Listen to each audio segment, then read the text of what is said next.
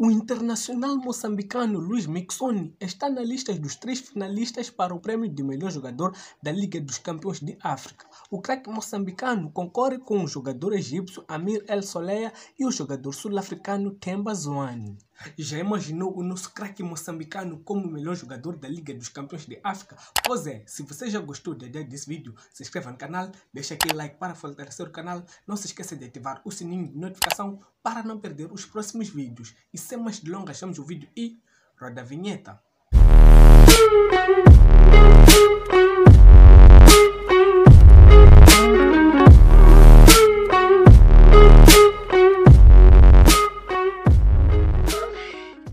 Luiz Mixoni terminou na lista dos melhores marcadores da fase de grupos da competição. O jogador de Angônia contabilizou três golos, o mesmo número de golos com o jogador tunisino Mohamed Rondani, o marroquino Ayob El Kabi, o argelino Amir Sayoudi e o egípcio Mohamed Al-Ali.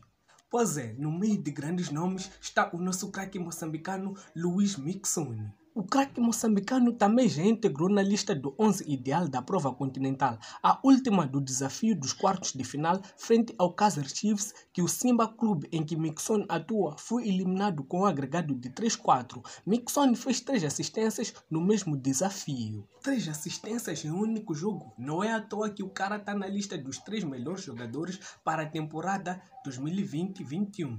Na segunda jornada da fase de grupos, o Conde Boy, como é tratado em Tanzânia, foi eleito o melhor jogador ao apontar o único gol que deu a vitória ao Simba diante do todo-poderoso Al-Ali do Egito. O golo teve a capacidade de quebrar a invencibilidade do atual campeão africano que só havia perdido para o Bayern de Munique no Mundial de Clubes. Contudo, Luiz Mixon foi fundamental na boa campanha do Simba na Liga dos Campeões da Confederação Africana de Futebol.